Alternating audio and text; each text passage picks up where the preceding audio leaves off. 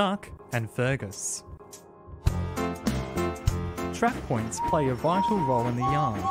They stop runaways from colliding with trains on the main line.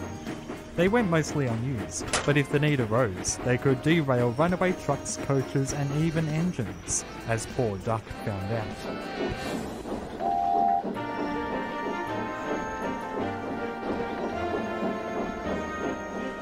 Duck had been working with a trainee driver who was keen to learn, and not just about driving the engines. He was eager for his tea break, which was really a chance to shadow the station master. In his haste to leave, he hadn't put the brakes on properly, and Duck began rolling backwards. He shut his eyes as his weight shifted, his wheels left the rails, and he came to a halt. Duck was thankful the trap points had done their job, but he was less thankful for the engine that came to his rescue. If this is the Great Western Way, colour me unimpressed, huffed Fergus. It wasn't my fault, scowled Duck. Anyhow, it couldn't have been much worse if not for those trap points. If you'd been doing it right, retorted Fergus, you wouldn't have needed trap points. They're just an excuse for your blunders. Duck was furious. Once he had been re-railed, he stormed off to the sheds. Where does he get all of that do it right nonsense? That's the pot calling the kettle black if I ever heard it, chuckled Donald. What do you mean? asked Duck. You have to admit it, replied Douglas. So no far cry your bliver about the Great Western Way. The Great Western Way, huffed Duck, is about common sense. Fergus's way is nothing but dangerous perfectionism. He never approves of anyone's work but his own. The twins couldn't argue with that. Fergus certainly wasn't easy to please. Duck was hard at work for several days afterwards. The driver wanted to make up for his mistake. Duck wanted to show Fergus a thing or two. This was easier said than done, however. A bit smoother when buffing up to those trucks, Mr. Duck, Fergus called. Do it right, he said from across the yard. Duck took no notice and started off towards the station. And mind those trap points. I've a yard to sort out and no time for rescues, added Fergus. Duck ignored this remark. Fergus huffed indignantly. I don't know, these younger engines, he grumbled to the trucks. No discipline, I tell you. The trucks, who much preferred Duck to Fergus, ignored him. Later, Duck's driver took another tea break, and this time to watch the yard signalman. Fergus was shunting close by. The driver watched as levers were pulled, points were changed, and Fergus rolled smoothly towards the trucks. That's right, that's right, that's right, Fergus smiled proudly. The driver noticed a lever that seemed to be untouched. Hey, what does this do? he asked, grabbing hold and giving it a pull. Don't touch that, cried the signalman. It's. Fergus was backing out of the siding with some vans when he swerved suddenly. Oh, stop! he cried. The vans crossed over Fergus's treatment of Duck, saw their chance. Go on, go on, they cried and pushed him along right off the rails. Ouch, he cried as the vans howled with laughter. Though the trap points are normally worked by powerful springs, they could be operated by the signalman if necessary. The driver had done just that and sent poor Fergus off the rails. Out, out, out! yelled the signalman, shooing him out of the signal box. The driver got back to Duck just as the yard manager arrived. Get steam up quick as you can. That goods train is due out soon and needs sorting. What about Fergus? asked Duck. Oh, leave him where he is. We'll deal with him later, replied the yard manager. Duck set to work at once. The driver was extra careful, and they worked quickly to sort out the train. He said nothing as he left for the station. Fergus felt foolish, laying by the line side. Other engines laughed as they passed. He certainly didn't feel he was doing it right anymore.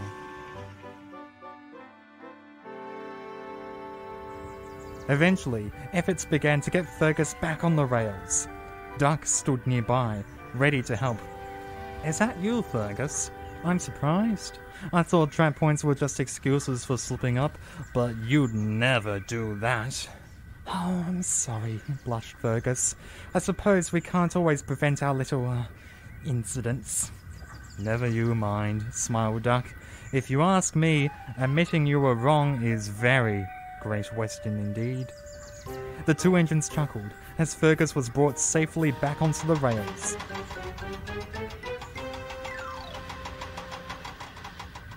Both engines are now firm friends. Duck's new driver decided learning other aspects of the railway was too distracting. He became a good driver, and there were no further trap point mishaps. Fergus gives a hearty whistle whenever he sees Duck in the yard, and there was no more talk of doing it right, at least not to the Great Western engine. Signal boxes and tenders don't mix, called Fergus as Donald backed into a siding. Do it right! Okay, fumed Donald. Duck just had to laugh.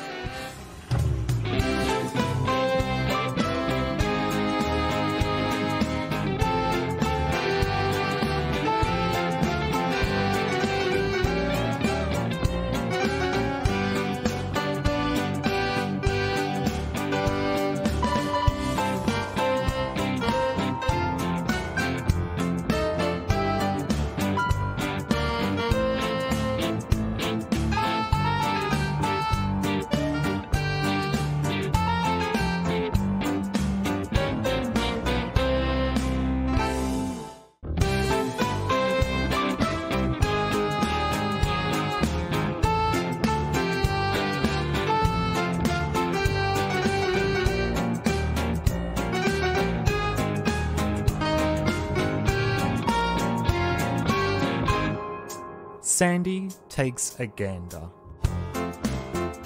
Work on maintaining the line was considered of high importance to the Fat Controller. Special engines and vehicles were used to make this happen, and each of them had integral roles. The railway had recently bought a track inspection trolley to join the team.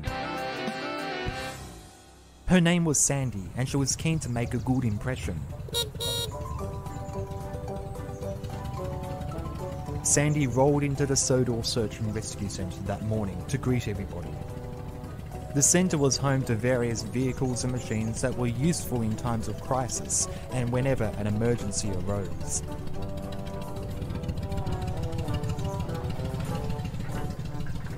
What kinds of special jobs are you doing today? she asked Rocky the crane. Oh, you know, there's always loads for me to lift, or whenever an engine comes off the line, I have to come to their rescue. Suddenly, the alarm bell echoed throughout the yard. There's a fire at Kirk Machan. Wilfred and Coldy are trapped in their shed. Right, assured Fiery Flynn, and his engine roared into life. Sandy watched as the big red fire engine sped away into the distance. Belle poked out of the shed as she saw the little trolley looking glum. What's gotten you down? Everybody seems to have such exciting jobs, but I don't know what mine is. She sighed, and her whole undercarriage let down like a deflating balloon. Well, you never know what could happen. I never know when I'm needed for a job. Sometimes I'm sitting in my shed for weeks before there's a fire, which is probably a good thing, but it does make me feel a little bit redundant at the worst of times. Sandy felt a little better as she went back on her way to her usual work.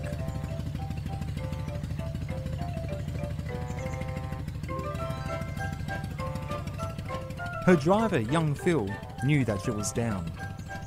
Young Phil was new to the job, so was still learning about Sandy. Why don't we go to one of my favourite resting places? It might make you feel better.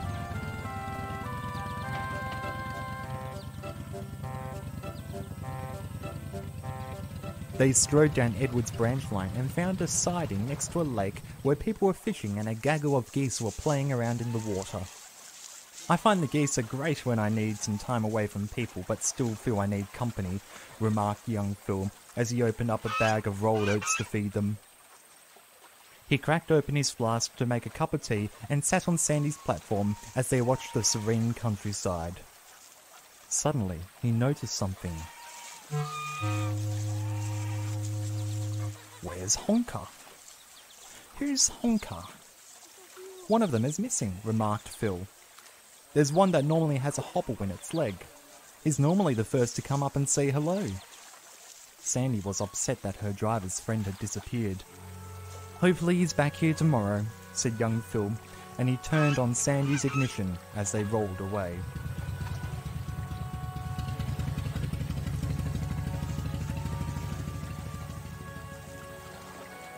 But Honka was nowhere to be seen the next day, or the next, even the next.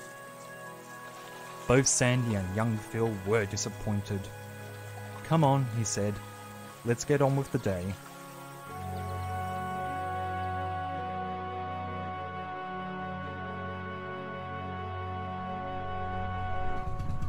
Sandy spent the early mornings and the early evenings completing routine track inspection, ensuring that there were no obstructions on the line. Once they gave the all clear to railway operations, engines were allowed to continue with their work. Because the railway was so busy, this check was completed in between stations so all trains didn't need to stop.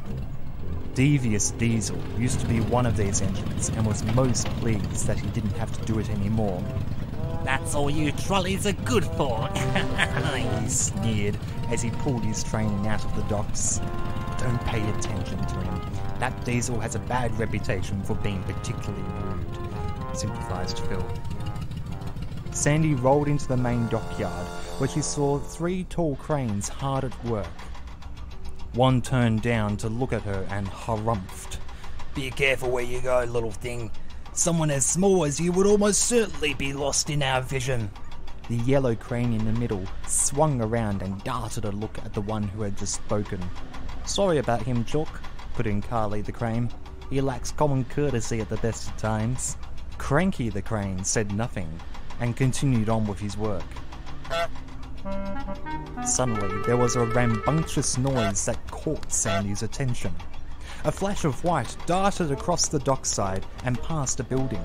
Sandy thought she knew what it could be. Phil! Phil! she cried. Did you see that? Young Phil looked up. What are you talking about? It was a goose! I don't think it was a goose, Sandy. You probably mistook Salty's horn for it or a nearby ship. I know what I heard, and it was a goose! Carly the crane looked down and could see that Sandy was upset. She chimed in. I think I heard it too. Sandy had an idea. Can you see if you could spot it from where you're standing? I can give it a fair try, Chuck. So Carly studied the dockyard carefully. The only movement she could see was that of engines and machines. And once again, she saw a small white object darting around the yard as workers toppled over in its path. There it is, Chuck. It's a goose, all right. I think it's got a limp as well. Sandy gasped. Oh, that must be Honka! So Sandy zoomed across the other side, desperate to find her driver's friend. Workmen were trying to capture the goose, but it hissed at them. He's agitated, said young Phil. We need to get up to him quickly, said Sandy.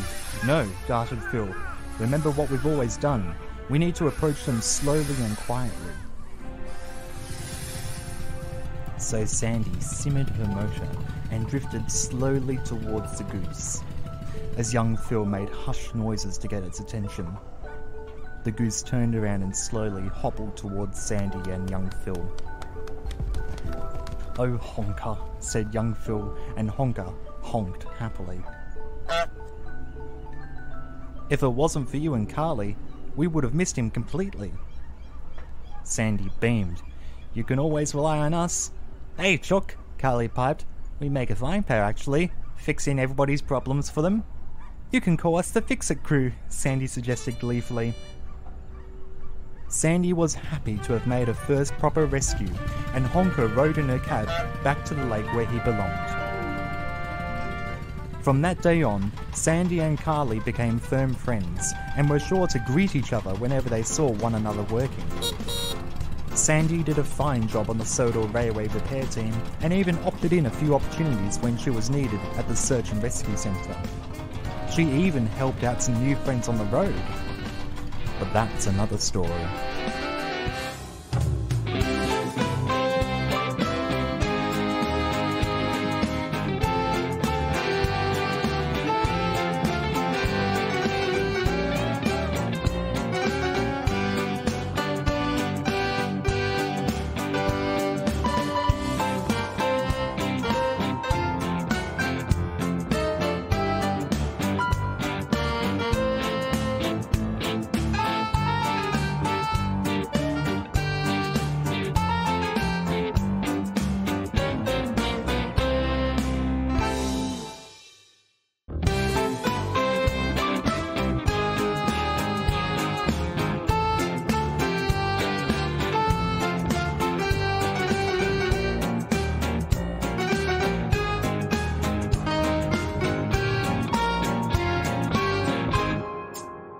Big Bully Bulgy.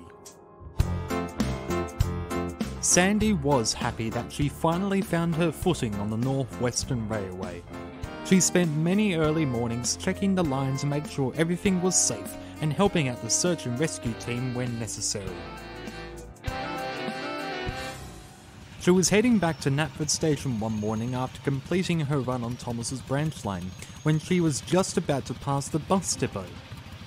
She shifted onto the main line just as Gordon thundered by with the express. Get out of the way, little trolley! Express coming through! Sandy was frightened. You're so small that Gordon could have almost had you fly off the rails, guffawed Bulgy the double decker bus.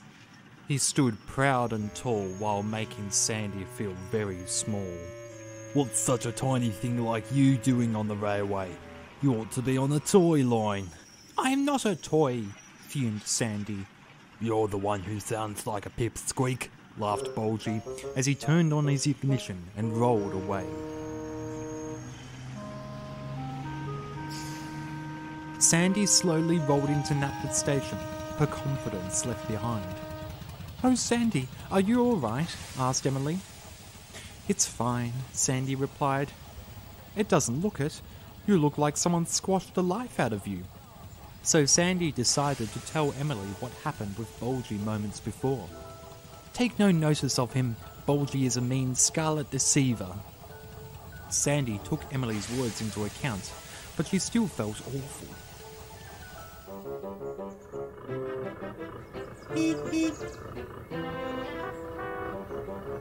Bulgy was busier than ever. He was put on a new bus route that week, taking passengers to Vickerstown.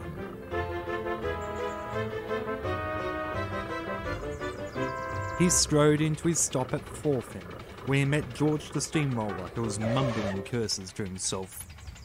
What's gotten you all heated up? It's those ruddy rail raiders. First they take up half the island, and now they're taking the roads. Those steamers can't go on the roads.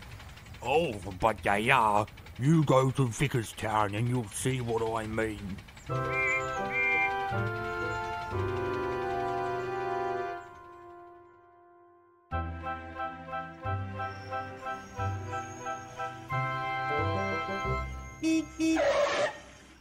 Bulgy did see. Nelson, the transporter, had his low loader filled with piles of rails. Men were embedding them into the roads throughout the streets. What's going on here then? barked Bulgy. Haven't you heard about the new line? remarked Nelson. Those big puffballs aren't going anywhere near the roads, are they? Nelson was coy. You'll just have to wait and see. After his service, Bulgy went back to find George. I told you, didn't I? pouted the steamroller. Well, what are we going to do? I'll tell you what, I have an idea. And George whispered his plan to Bulgy.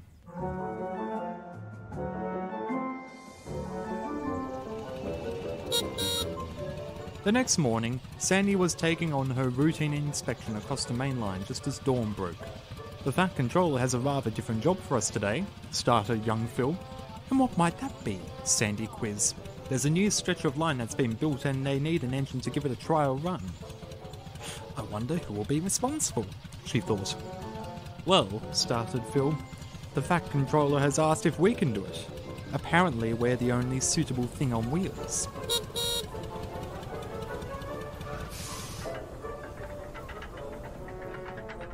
When they arrived at Vickerstown, Rocky lifted Sandy off the tracks and onto the new road rails. Oh, bless me. I can understand why now. It's a tramway. Toby was considered, but they wanted a smaller vehicle so as not to disrupt the road traffic. So you were the strongest candidate, said young Phil. Sandy did feel special that she was chosen to test the new tramway.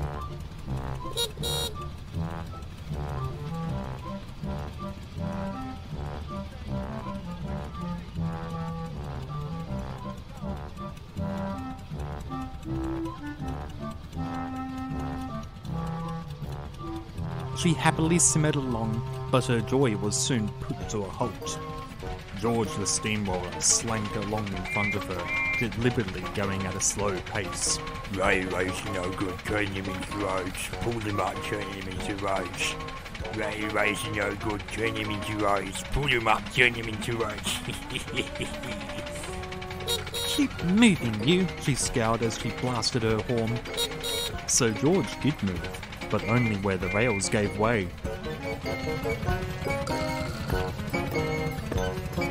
Sandy rolled onto the road with a crunch and Phil slammed on her brakes. The Fat Controller was cross when he found out what happened. You will fix these rails that you obstructed, and you'll be banned from entering this part of the island until further notice. George rolled grumpily away to his yard, but nobody had suspected Bulgy's involvement. It took some time for the workmen to fix the rails, but when they did, Sandy was off again. On her way, she heard a honk honk of a car. A little red vehicle strode up alongside her that looked a little bit like a steam engine. Hello there. Chimed Cleo. Oh, hello. My name is Sandy. Who are you? I'm Cleo. Nice to meet ya. Fancy race? Sandy knew that she had to take her pace slowly, but was entertained by Cleo's proposition. You're on, she said, and at the utter of Sandy's words, Cleo flew ahead like a cork coming out of a bottle.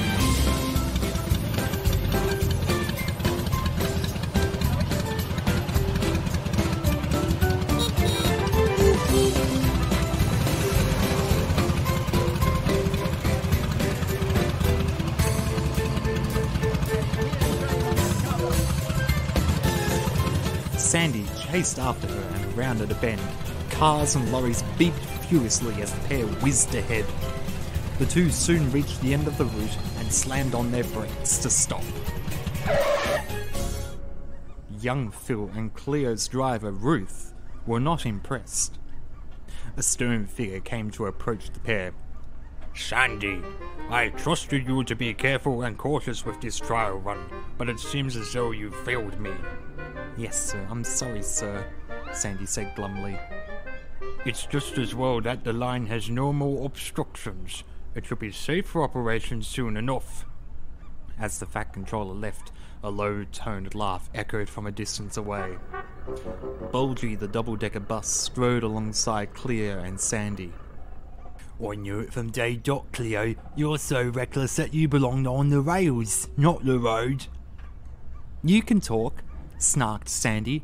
Call yourself a railway bus. You seem more anti rail than anything. Bulgy fumed. Sandy had to make her way back to Vickerstown to get back on her own rails, so Cleo came alongside her. Thank you for sticking up for me back there. That's alright. It's the least I could do to get one in the headlight for that big red meanie. And the two new friends laughed together as they neared the station.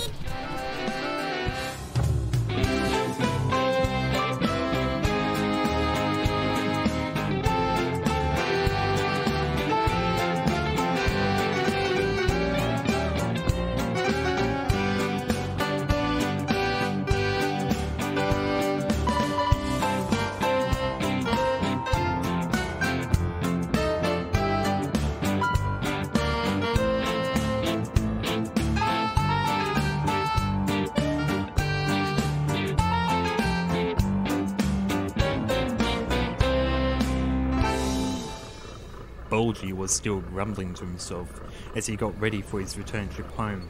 But that quickly became the least of his worries as a sound he had never heard on the road before came up to him. Oi, who are you? The name's Travis. Driver's still finding my paces, but I want to make sure we run as accordingly as possible. I can't be kept waiting when all my passengers have places to be. And the double decker tram strode off without another word, leaving Bulgy speechless.